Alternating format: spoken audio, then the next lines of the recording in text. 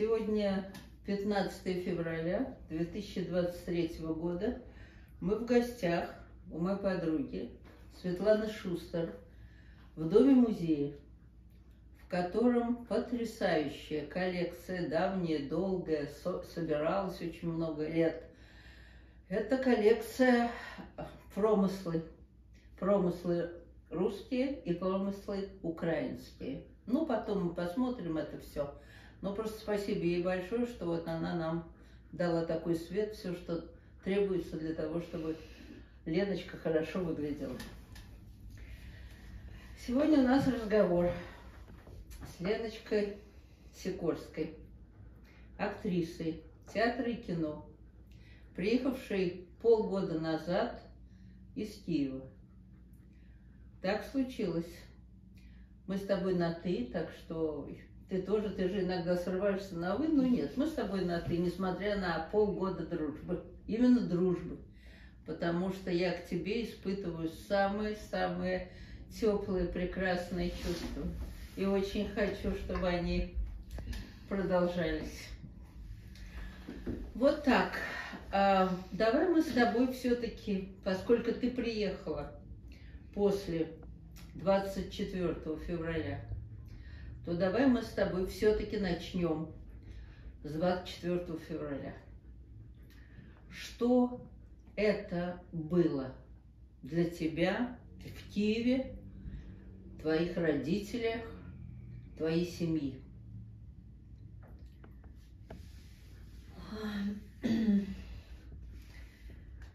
Сейчас я понимаю, что это было страшно. Сейчас понимаю. А тогда было непонятно.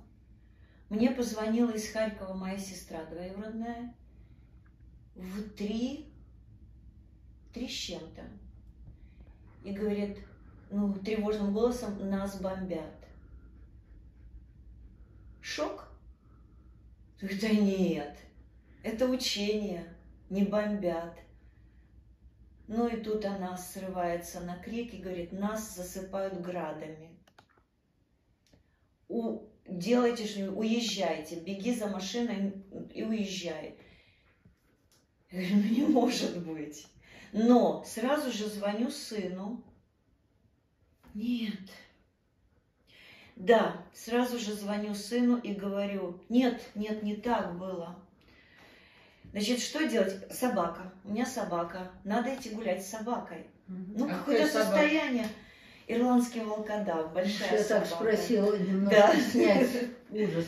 Да. И надо идти гулять с собакой. И я иду гулять с собакой. Я понимаю, собака не идет. Видимо, он слышит уже что-то.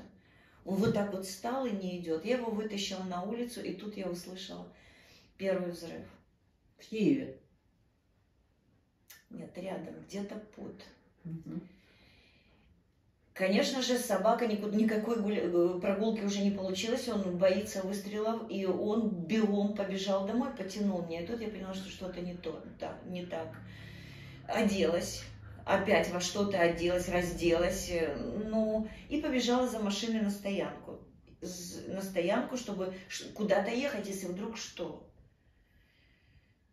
семья, сын, дети, мама, папа, собаки, коты. И вот, когда я прибежала на стоянку, это где-то было, наверное, уже четыре с чем-то. Утро, утро. Да, утро, Правильно. утро. На стоянке мне сторож стоянки говорит, Лена, что-то страшное, потому что э, семьями выехали, начальство выехало со стоянки. Пришли люди, сели, загрузились в пять машин, и уехали. Начальство какое? Милиционеры. Милиция и э, руководство МВД. И что, у тебя ощущение, что для них это тоже было неожиданно? Э, видимо, да, потому что они очень быстро убегали. Очень быстро, раньше, нежели начались взрывы. Раньше. Mm-hmm. Еще до того, до того, как мне позвонила сестра, где-то в 2 часа ночи они выехали машинами. Вот. И когда он мне это рассказывал, практически одновременно, недалеко от нас, прозвучали два взрыва, очень громкие. Они были настолько мощные, что я присела, поскольку у меня как будто бы сознание теряет человек. Вот так я присела и оглушила, еще не слышала какое-то время. И тогда в это паническое шоковое состояние я понимаю, что, ну, страха как и не было, потому что я не могу это описать совершенно, Где? что я чувствовала, но я поняла, что нужно что-то делать. Где родители? Тут же Где родители дети? дома спят, сын спит, все спят. Потому что тут же я набрала э, старшего сына и говорю, и говорю, что взрывы, он говорит, да нет, это гром. Да. То есть он проснулся от моего звонка. Вот. И потом, когда уже начало светать, машина под балконом, люди забегали, а, у всех э, разрывались телефоны, потому что звонили со всех уголочков, говорили, как, что, что у вас происходит? Никто ничего не знал, что происходит. Но вот это вот нас бомбят градами. А до этого что э, могло вас, которые рядом, все у тебя там приятели, друзья, родственники, все, много людей вокруг, что они говорили, что они обсуждали, о чем они думали. Они э, волновались по поводу того, что такое может произойти? Нет, нет. Зеленский, президент Украины, очень уверенным тоном говорил, что весной мы будем сажать огороды, ничего не будет, никакой паники не должно быть, все будет хорошо. Вот посмотрите. И мы абсолютно были уверены, что весной мы посадим огороды, угу. что ничего не будет. Как потом выяснилось, да. как потом выяснилось, все все знали. Это заявил его, заявил, нет, рассказал, как, между прочим, Арестович такой небезызвестный нам да, человек. Да, говорит, мы это все знали, но чтобы не создавать паники и давки на дорогах, потому что мы знали, что люди будут уезжать что могла проехать техника. Мы об этом не говорили. Чтобы могла проехать э, без проблем техника, чтобы дороги были свободные. Ну да. Что этому предшествовало? Я имею в виду 14 год. Крым. А... Что, что, что вы тогда обсуждали? Как вы это приняли? А, у меня была одна только мысль в голове, безвозвратная. Я не могла никак от нее избавиться, что будет хуже. И я эту мысль озвучивала. Лучше ничего не будет. Лучше, чем мы жили до Майдана в наде... с надеждой. И даже во время Майдана. В четырнадцатом году после, ну, после, можно сказать, потому что вычистили этот Майдан, залепили дыры, ребят отправили туда, на восток, погибать голыми боссами, в полном смысле слова. У них не было... Ребят, матери покупали им родственники обмундирование. Кто их отправил? Страна, наверное. Не знаю, кто. Президент, который шел тогда в президенты. Порошенко. Да. Который зачистил Майдан, поменял всю Э, эту брусчатку, которую мы выковыривали на морозе, чтобы бросать в ОМОН.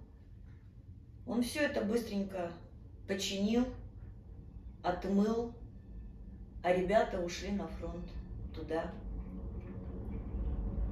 Куда туда? В Крым, Донецкую, в Донецкую, Луганскую область. Донецкую, Луганскую. А ты раньше была в Крыму, когда он был вас? Конечно. Ты выступала было. там, ты играла. Там э, работала моя однокурсница э, лет уже так 30, как она там в Севастополе, в Русском драматическом театре, народная артистка. И по ее словам я знала, что там здорово, но в Крым я не ездила очень давно и скажу почему. Потому что с четвертого года, 2004 года, после оранжевой революции, я перешла исключительно на украинский язык. Этот дух патриотизма, этот жажда жить в своей стране, которую мы, вот, пришел наш президент Ющенко, которую мы отстояли очень мирно, красиво, э, в оранжевых цветах с оранжевыми розами, Ну как же в такой стране не жить? И э, после 2004 года, перейдя исключительно на украинский язык, э, в быту, везде, везде, везде, приезжая в Крым, я выглядела как «здрасте». Ну, мне шикали, говорит, мы тебя не понимаем, мы здесь разговариваем на русском. Да. И мне было страшно обидно. То есть ты И что- переходить на русский я не собиралась, хотя меня просили. Говорит, мы не понимаем, о чем ты говоришь. Там в быту, в магазине, где-то с друзьями. Ну, даже с друзьями. Ну это же Вот. была Украина. Это- это Почему было- это так? Ну, почему это так? Я думаю, что потому что вот этот вот червь и мина замедленного действия подкладывалась, видимо, сознательно. То есть ты можешь пред- предположить или представить или знать о том, что э, все э, люди, живущие в Крыму и в основном говорящие на русском языке, они мечтали о том, чтобы э, Российская Федерация забрала Крым к себе. И, и это стало их территорией. Э, Разговоры такие, конечно же, были. Да, что вот с Украиной, с Украиной нам тяжело. Нам бы было легче, если бы. Почему тяжело? Потому что, ну, я помню эти кадры жуткие совершенно по телевидению, как крымских татар. Им не давали построиться даже. Каких гоняли по этим горам э, власть Украины. Так. Что-то они там не могли себе найти место. Им тоже было, видимо, нелегко жить так, как они жили А, тогда. что Я не- крымские татары хотели, чтобы быть под э, Россией? Я не знаю, под кем они хотели, но то, что э, им жилось нелегко, это да. При каком президенте еще раз? При Ющенко и же далее, так сказать, Януковичи и все прочие. Мгм. Им жилось нелегко. Но то, как им стало, по их же разговорам сейчас, по их же, я не могу, я не, не знаю, мои, моя подруга там живет, она крымская татарка, я смотрю ее посты в Фейсбуке, все нормально. То есть сейчас они довольны. Не разговаривала лично, но по, судя по постам ее в Фейсбуке, все нормально работает. Поет и на крымско-татарском языке, и на русском, и на украинском. Так, теперь на украинском уже И можно. на украинском, оказывается, можно. Не Вот не могу сказать. У меня, я вам честно скажу, у меня когнитивный диссонанс, потому что если э, не смотреть на это в одну, в одну вот точку только, в одну точку, э, которую предлагает мне СМИ, там общее мнение, да, если пытаться разобраться и не сойти при этом с ума, сложно. У меня нет на это четко определенного ответа. Как, кому где хорошо, кому где плохо. Я думаю, что человеку хорошо там, где его ценят, где его не унижают, где ему комфортно добраться с одного места в другое, где у него есть работа, где у него, у него есть медицинская страховка, где он уверен в завтрашнем дне. Видимо, там, в Крыму, видимо, не знаю, большая часть населения были уверены в завтрашнем дне именно вот в такой ситуации, которая сложилась, к сожалению. Но сейчас непонятно, да? А сейчас э, моя однокурсница там живет, и она, конечно же, обеспокоена тем, что ее сына призовут в российскую армию. Конечно же, вот это, пожалуй, единственная теперь уже беда ее. И звание уже не поможет ничто, если ее сына призовут в армию. И ему придется воевать. И, скорее всего, таки будет. И убивать И своих убивать. приятелей и друзей. Да. Понятно, что непонятно. Скажи, пожалуйста, а про Донецкую и Луганскую области, что там? Ты считаешь, что что, а, какие основания на то, что да, надо забирать, потому что там издеваются, потому что там война, потому что там нацисты, ну там, Ой. я не знаю, тысячи всяких эпитетов и, и всего страшного, о чем говорили, для того, чтобы спасать их. Тоже Донецкая, Луганская область, это другие люди, немножко другие люди. Они работали в основном в России. Наш, под землей, километр туда вниз, Шахтеры. и в России, да. И Харьковская область, такие Харьков – заработать, видимо, в Украине многим не получалось. Западная Украина работала, Польша, Венгрия. Ребята, ну сколько у меня знакомых таких, которые дома строили за деньги, которые они заработали, семью содержали за эти же деньги. Точно так же те люди, они общались с россиянами очень даже неплохо и работали, у них были деньги. Почему они не могли заработать здесь? Я не знаю. Почему они уходили туда? Конечно же, уходя туда, налаживайте мостики, э, родственников очень много у людей, живущих там, в России. Они встречались, они дружили, они ездили друг к другу, они общались, но тем не менее, они говорили, мы не граждане Украины, нет. Но обижались очень. Эти забастовки, которые шахтеры устраивали в Киеве, стучали касками, боже, грязные – они приезжали, что ли, что ли пешком приходили, я-то помню эти все демонстрации, стучали касками, обратите на нас внимание. То есть им не платили или мало им, платили, что? Видимо, мало платили, видимо, недостойно платили. И э, Донецк всегда говорил, вы живете за наш счет. Угу. Вот эта риторика была слышна отовсюду. Вы живете, мы вас кормим. Что же вы так нам, с нами?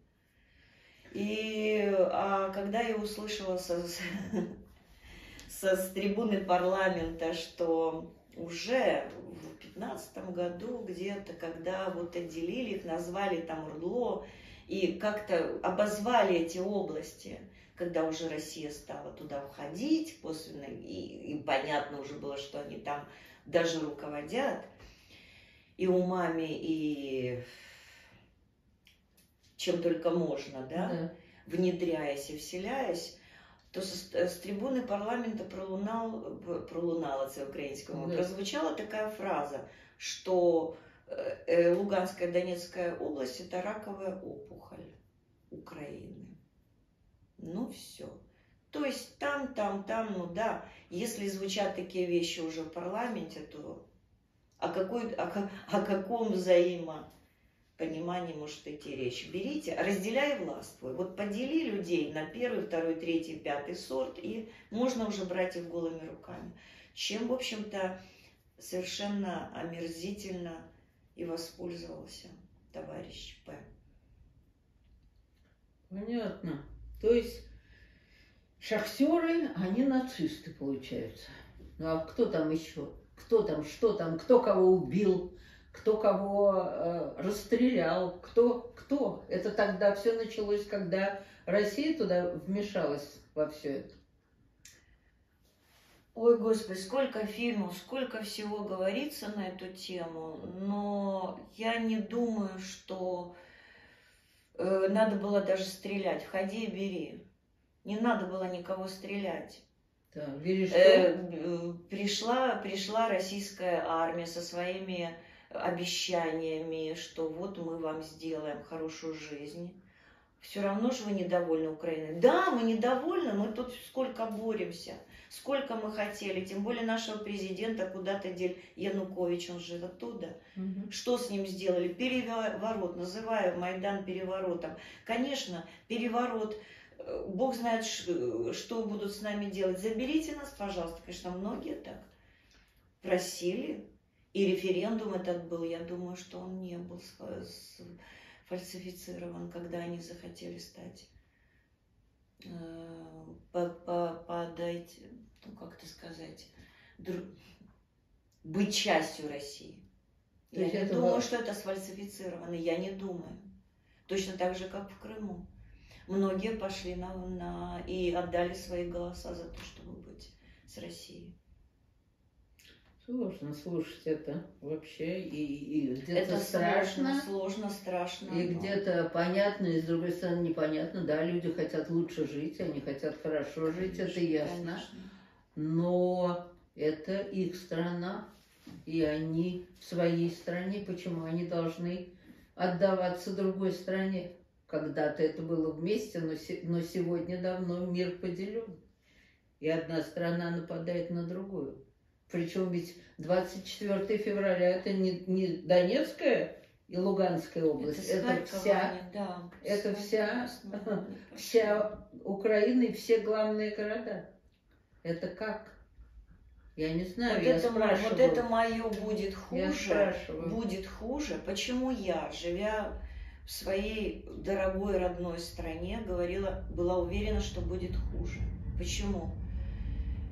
Почему я этим будет хуже вызывала такую бурю агрессии?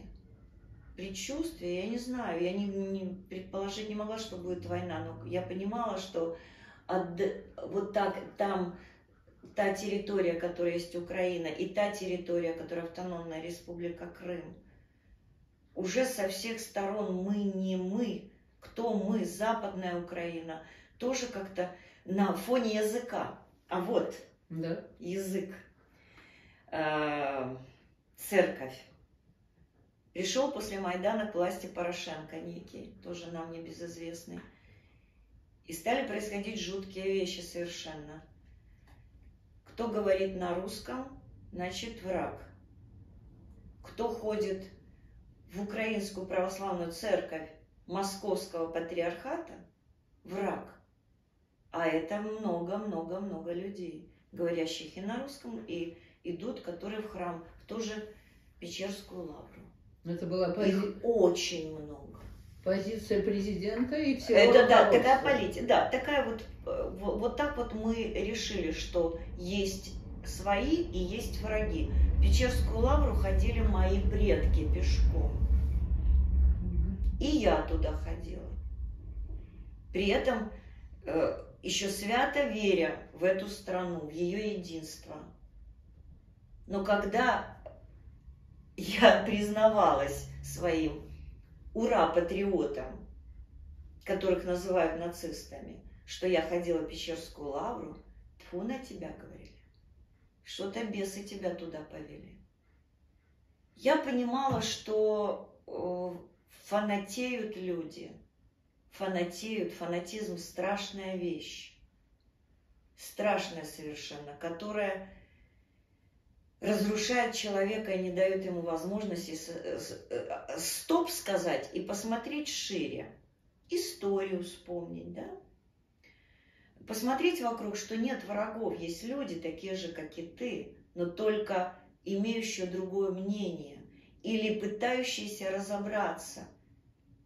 Почему я не могу пойти в, этот храм, чтобы разобраться, пообщаться с людьми, какая у них позиция, чего они мыслят, как они, почему они идут. Если президент сказал, так, в эту церковь не ходить, она плохая, она московская, потому что Москва, Москва на нас напала, значит, это и церковь вражеская, и язык ее вражеский. Почему? А ты считаешь, что церковь отделена от государства? Ну, не знаю. Я- у меня нет, я не связываю ее с государством. Это моя душа. Я туда иду, меня туда тянет. Ну, не думаешь о том, что там тоже есть свои... Есть разные везде и были, и есть, и будут. Но я-то иду не к ним, я иду к себе. Да, но то, что касается языка. Каждая страна имеет какой-то свой язык один. Вот в в Америках здесь живут люди со всего мира. Со всего мира. Но здесь английский язык основной, и это нормально. Конечно. Почему в Украине не мог быть язык Мог, один почему не мог? Украина? Почему, Почему мог? почему в этой ситуации так все э, возмущаются, что э, не должен быть какой-то другой язык? Мог. Все, все, дело производства перешло на украинский язык. Это Ну. нормально. Чудесно. Это прекрасно. Люди и, э, знали украинский язык. Многие, многие, многие. И учились на украинском мои дети тоже, это замечательно, потрясающе. И я разговаривала до определенного момента на украинском исключительно. Но когда мне за мой русский, забыв русский даже, тыкали на меня пальцем, мне говорят, простите, но это инструмент. Я владею и скрипкой, и фортепиано. Почему я должна отказаться от скрипки? Ну, да, ты Почему я не буду отказываться от, от скрипки? Я буду играть на этом же инструменте, когда посчитаю необходимым, когда мне так захочется. Меня никто не заставлял перейти абсолютно на украинский язык. Абсолютно никто не заставлял. Но что-то, я поняла, идет не так, когда я не могу найти работу в своей стране. Как давно уже не, можешь, не могла найти? Ну, где-то с 15 -го года уже стало все очень плохо. Да. Очень плохо. Почему? Потому что киноиндустрия, все, все проекты были э, связаны с Россией. Россия вкладывала огромные деньги в то, чтобы снималось кино. В Украине, да, оно было, может быть, не того качества. Это сериалы в основном.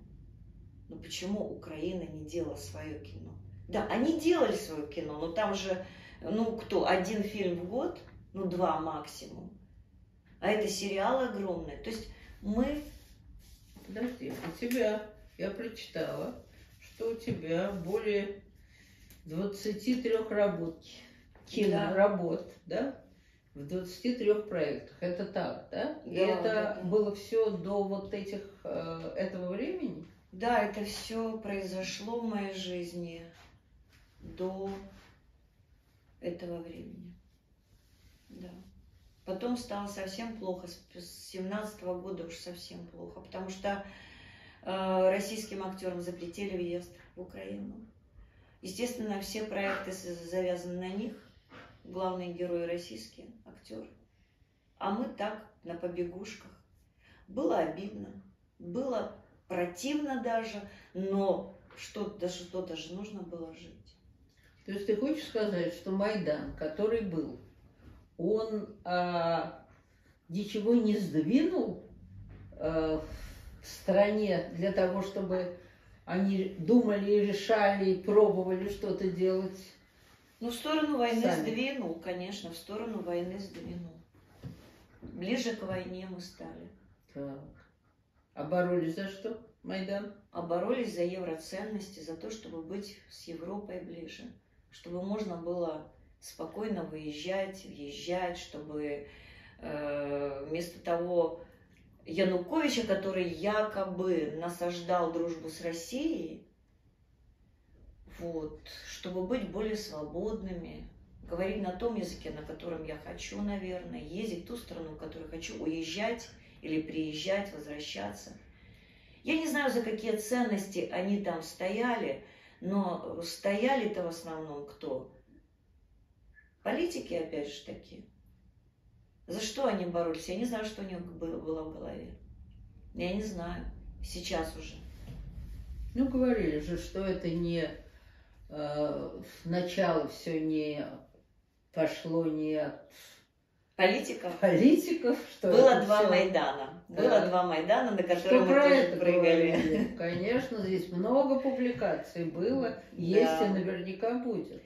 Было два Майдана возле елки, так называемой, перед Новым годом. Это ноябрь месяц, уже холодно, уже был стоял каркас этой новогодней елки.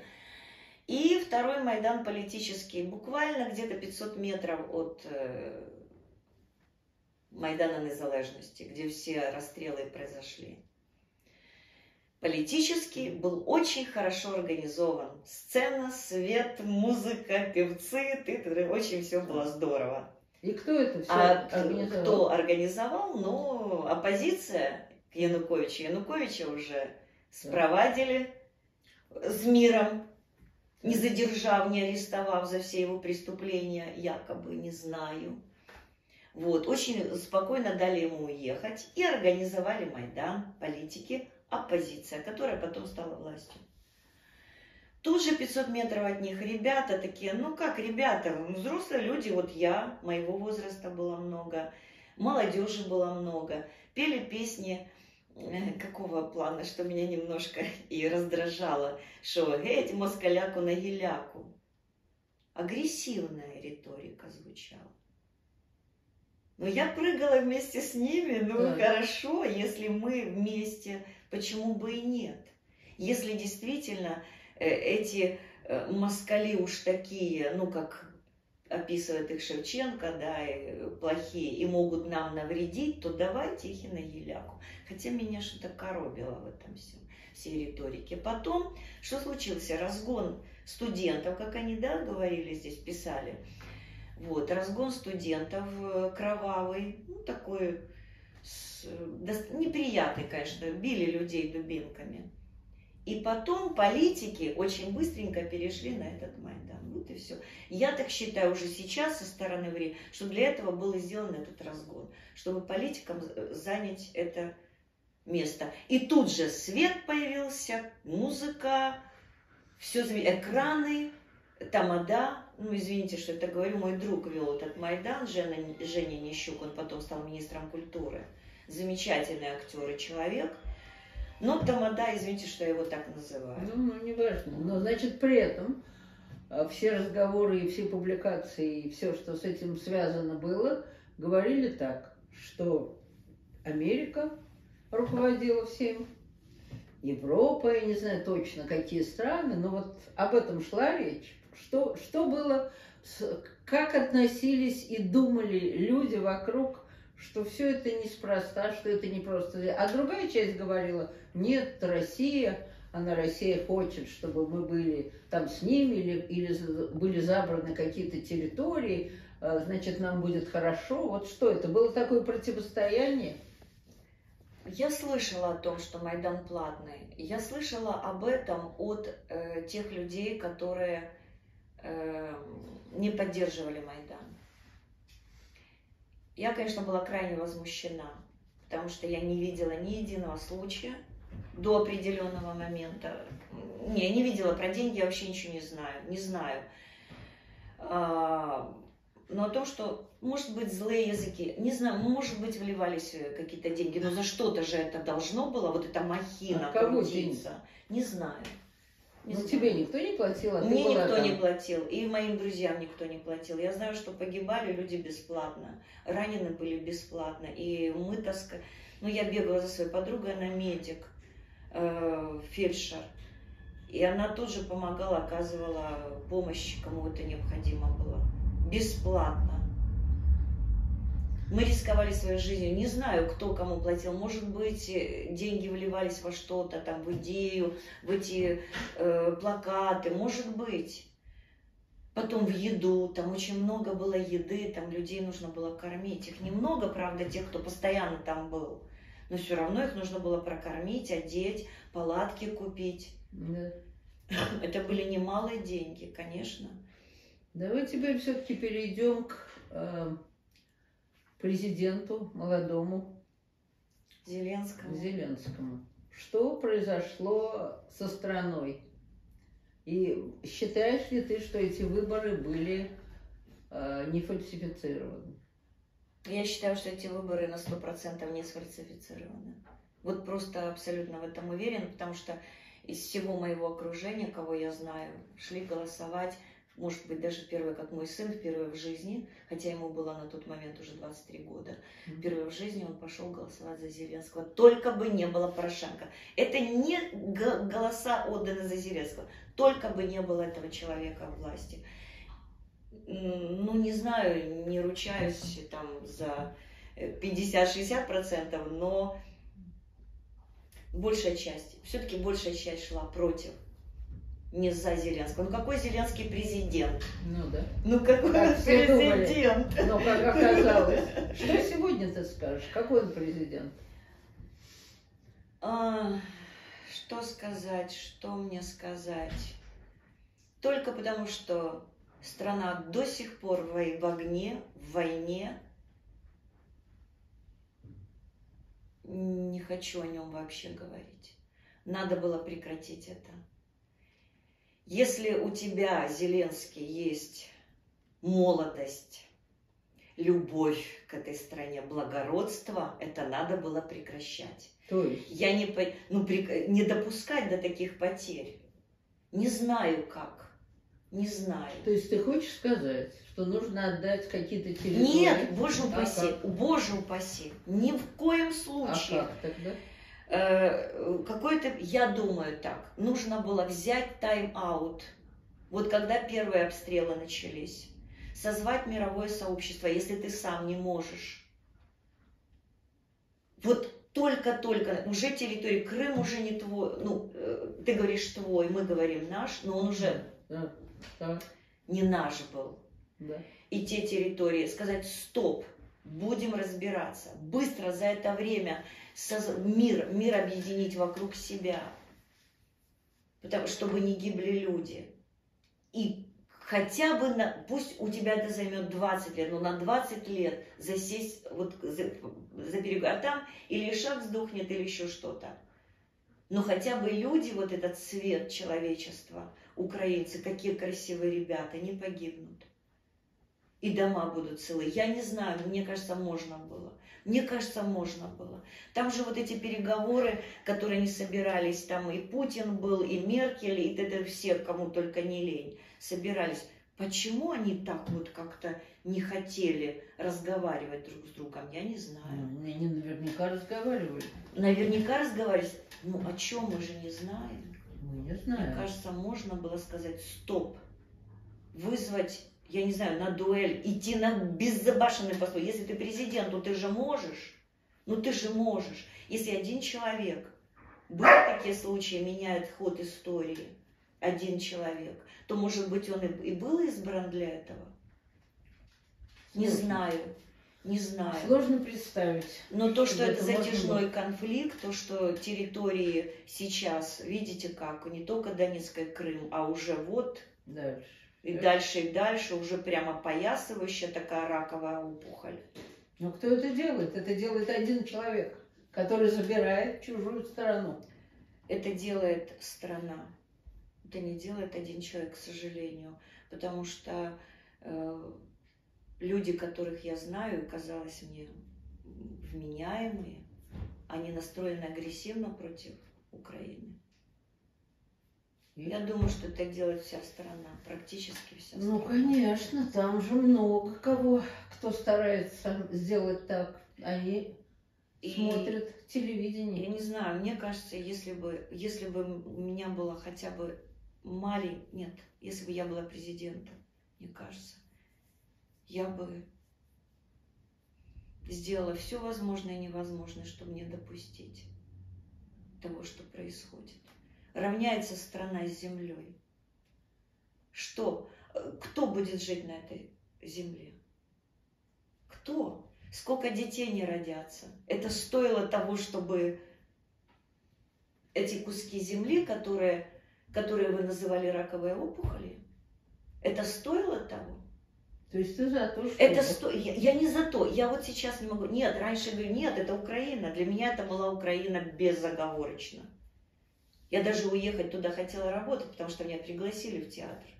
Туда, когда мне было совсем тяжело, Луганский драматический украинский театр меня пригласил на работу.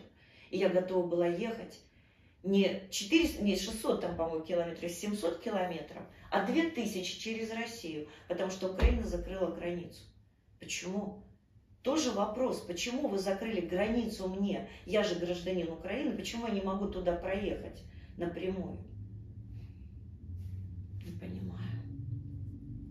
Не знаю, если вы так уж отказались давно от этих территорий, но при, при том риторика ваша это, это Украина, то откажитесь. Что значит? На, на, откажитесь уже, не откажитесь, а хотя бы заморозьте конфликт и договаривайтесь. Значит, наверное, не могли договориться. Ай, не знаю, не знаю, Миля, это, это очень тяжело об этом говорить, и я крайне не понимаю тех людей, которые однозначно судят. Однозначно, Наверное. вот это было так, эти напали, эти сдали, эти бомбят, эти, эти плохие, эти хорошие. Не бывает так. Не бывает. Ну, наверное, все Не бывает. Так. Особенно в такой ситуации. Не бывает. Но Это все равно будет, переми... будет мир, но кто будет жить на этой стране, кому она нужна такая? Мне, потому что там остался мой дом целым. Живет моя мама с папой, собака, кот. Мне нужна эта краюшечка земли. И так каждому.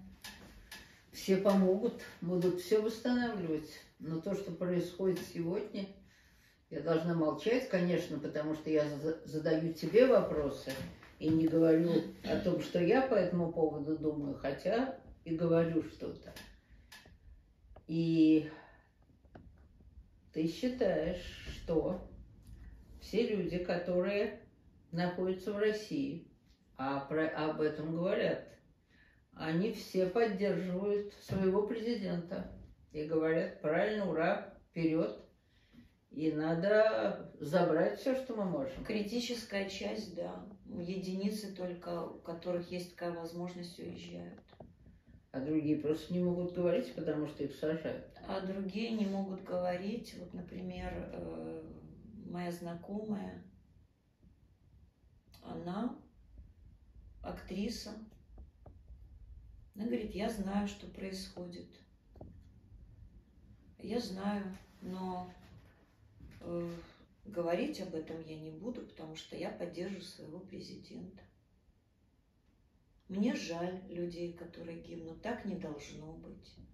Но я живу в своей стране, и мне жить, и детям моим жить. в Это этой которые в стране. Москве, а Да, да, в да, России. Да. Мне жить в этой стране. Это не значит, что я страус за- Я смотрю фестивали, киносъемки у нее, школа, институт преподаю. Она живет точно так же, как и жила до войны. Ничего в ее графике не изменилось. Ничего.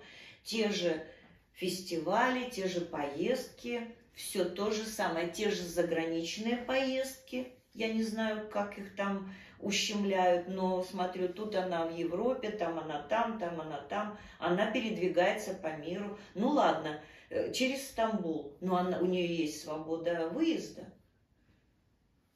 Ну, У меня что- никто не, не может сейчас из... Ну, господи, ну, а чё- конечно, что потому сравнивать? что Это же сравнивать это же, это, это же несравнимо. И, России конечно. сегодня никто не напал. И не, Да, нап- и не да, собирался да. нападать. но- Поэтому она пробует жить своей жизнью, Да, да. а многие другие не хотят жить такой жизнью и уезжают. Конечно, несравнимо. Несравнима страна, которая, на которую напали и, и на территории которой идет эта война. Да, им, по-моему, вообще даже неинтересно знать, что происходит. Некоторым не интересно, а другим... Наверное, неинтересно, но тем не менее, не прекращая общение с этими людьми, я не хочу рвать с ними связь, потому что какое-то какое слово добра от меня, от нацистки, они могут услышать. И пожелания. И они этого не забудут. Потому что в основном проклены в их адрес несутся и разрыв отношений. Я знаю таких людей, которые порвали отношения с родными, сестрами, братьями, которые в Мгм. России. И Бог знает навсегда, может быть, даже. Ну и наоборот, наверное, тоже. И наоборот тоже. Да. Но у меня был такой период в жизни, когда во время Майдана с моей двоюродной сестрой, которая мне позвонила, сказала, что их обстреливают, я тоже прекратила общение, потому что она была на стороне оп- э, поддерживающей Януковича. У меня тоже разрыв произошел жуткий. Совершенно. Я никак не хотела ее слышать и слушать. Я называла ее самыми последними словами, потому что она не понимает, что происходит. Что Украина должна быть, должна быть украинский, это все, вот как сказал Ющенко, так должно быть. Она мне говорит, Лена, нет, ты не понимаешь. Ну и вот. А Хотя она, мы, вы, она, э, она замечательный золотой человек. Теперь ты с ней дружишь? Да, я поехала в Харьков, купила бутылку шампанского, цветы, пришла в ее дом, конечно же, была встречена Да? Вот так я просила у него прощения за свое, за свою туполобость. То есть за ты считаешь, свою позицию. права она? Потому что я ей пытала, я с пеной у рта доказывала, что это ты не права. Да. Не так не делается. Вот точно так же, как с пеной у рта доказывали теперь, что я не права, разговаривая на русском языке. То есть ты считаешь, что она была права? Я считаю, что я в- вела себя неправильно по отношению. Мне нужно было с ней не, не говорить вообще на политические темы, на темы, только Мгм. поддерживать родственные отношения и все. Тему религии, политики просто забыть. И сейчас это так, да? Сейчас, слава богу, это так, да. Сейчас мы в прекрасных отношениях созваниваемся и все время вот эту связь я ощущаю, эту любовь, эту крепкую-крепкую связь. Да. Ну давай так, давай мы сейчас сделаем перерыв, и потом поговорим про тебя, про семью, про все, Хорошо. что ты захочешь сама рассказать. Ой, хорошо, Да? хорошо, да. Давай, перерыв.